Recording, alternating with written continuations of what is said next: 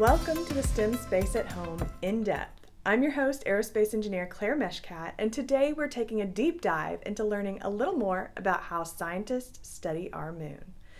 Would you consider living on the moon? NASA is planning to send humans back to the moon and establish a lunar base for humans to live and conduct research there. But what does it take to live on the moon? Think back to the previous missions we completed. For food, we designed a hydroponic greenhouse to grow plants in space. We also learned about how to design spacesuits and stay protected from extreme temperatures, meteorites, and other hazards in space. The moon has a very thin atmosphere, so we will need to wear a spacesuit to breathe and stay protected. Make sure you check out these videos if you haven't already. Now, there are a few more critical problems we need to solve if we are hoping to survive without the comforts of home. We need oxygen to breathe and water to drink.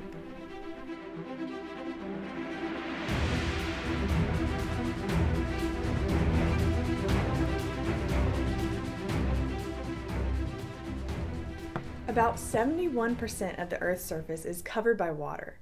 Do you know what percent of the Earth's water is usable for drinking? Less than 3%, and two thirds of that is locked up in ice caps and glaciers. But what about the rest of our solar system? Is there any water out there? Well, it turns out there are several celestial bodies thought to possess liquid water beneath their surfaces, and many more that have water in the form of ice or vapor.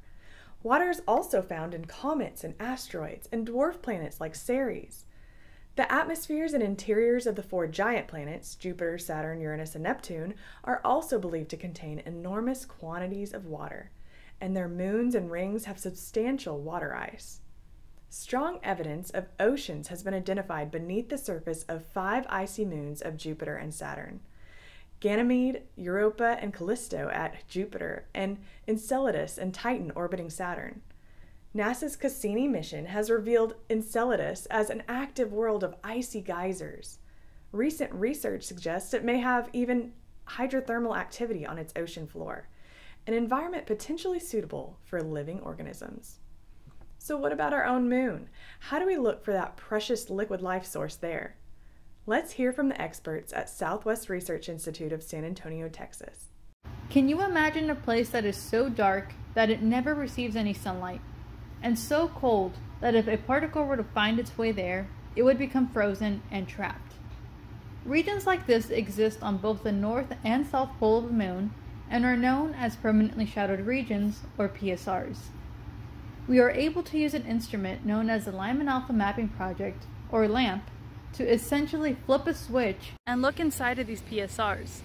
Hi, my name is Lizeth Magana, and I am a physics student at the University of Texas at San Antonio. For my PhD work, I use the LAMP instrument to look inside of these PSRs and find where water ice may be present. Now I want you to try an experiment with me at home to see how there are phases of the moon. You'll need a ball or something you can shape into a ball like Play-Doh, and then a lamp or a flashlight. If you use a lamp, you may want to take off the lampshade for the best effect. Now, pretend you are the Earth and you are looking at the moon. As the moon orbits you, you'll see different amounts of the moon illuminated or lit up by the sun. When the moon is between you and the sun, we don't see the moon because it is lit up on the opposite side. Now, when the moon goes on the opposite side of the sun, we'll see the full moon. Still, there are some parts of the moon that never get sunlight. Here we have the south pole of the moon. We see that as time passes, different regions of the moon are illuminated, just like we saw earlier. But we also see that there's regions that always remain dark, and these are the permanently shadowed regions. We see that these PSRs coincide with some of these really deep craters, and that's because the sun isn't at the right angle to reach the bottom of the craters. Since there's no direct solar illumination, these are some of the coldest regions in the entire solar system. They're actually so cold that if water molecules got inside of them, they would be too cold to move and would be stuck. This is why, over billions of years, we have a buildup of these water molecules within the PSRs, and why we look inside of them for water ice.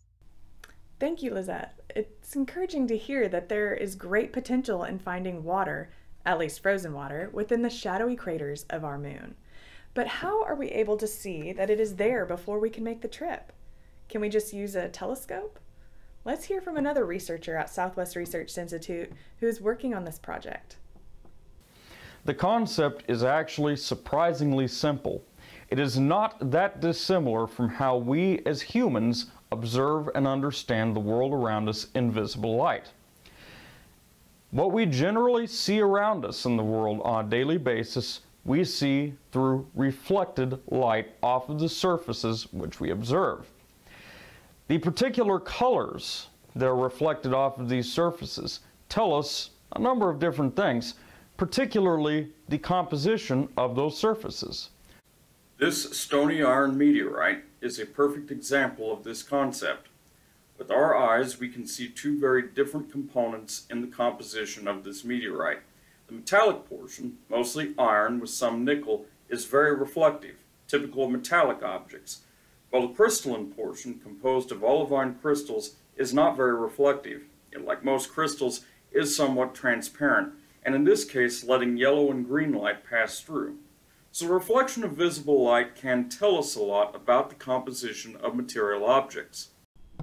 That makes sense that we could possibly look at the craters with telescopes and see that there is something in them that looks different or reflect, reflects light differently than the surrounding areas. But did you know that there is a light that our eyes cannot see? That's right, radio waves and microwaves are a type of light that our eyes cannot see. And so is what is called infrared light, which is what the remote control for your TV uses to turn on.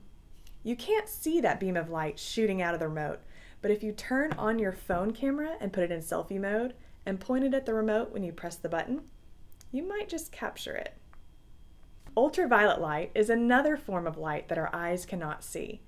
You may have heard this type of light also referred to as black lights, and it is the harmful light that gives you a sunburn if you are out in the sun without sunscreen. Both infrared and ultraviolet lights can be used to see things that our eyes cannot see and help scientists discover if there is indeed water on our moon. Scientists, like those at Southwest Research Institute, use special machines that shine these different wavelengths of light onto substances to get a full picture of what substances might be on other planetary bodies. Let's do a quick experiment with ultraviolet light. If I shine an ultraviolet light on this water, nothing happens. But now look at this tonic water.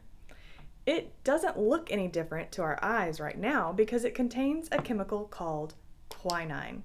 When I shine the ultraviolet light on it, it absorbs the energy from that light and appears to glow as it loses that energy. In a similar way, when the scientist shines UV and infrared light at the moon, they may be able to tell us what is on the surface that our own eyes didn't catch using visible light.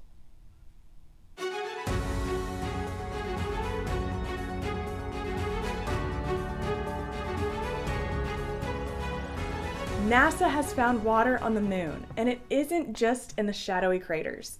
NASA's Stratospheric Observatory for Infrared Astronomy, or SOFIA, confirmed on October 26th of 2020 for the first time that water is on the sunlit surface of the moon.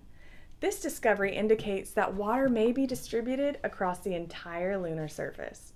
This is a big deal because the moon doesn't really have an atmosphere that should keep water anywhere near where the sun's shining but somehow it is. And we really could use that water to be able to live on the moon. SOFIA offered a new means of looking at the moon. Flying at altitudes of up to 45,000 feet, this modified Boeing 747 jetliner with a 106 inch diameter telescope reaches above 99% of Earth's water vapor in the atmosphere to get a clear view of space. Using its infrared light camera, SOFIA was able to see the specific wavelength unique to water molecules and discovered a relatively surprising concentration in the sunny Clavius crater. The data will add to the work of future moon missions, such as NASA's Volatiles Investigating Polar Exploration Rover, or VIPER, to create the very first water resource maps of the moon for future human space exploration. So it looks like we may have some options when it comes to locating and perhaps even using the water that is on the moon. Try out the demonstrations I did today and make sure to check out our other videos to learn more about how we might one day live on the moon.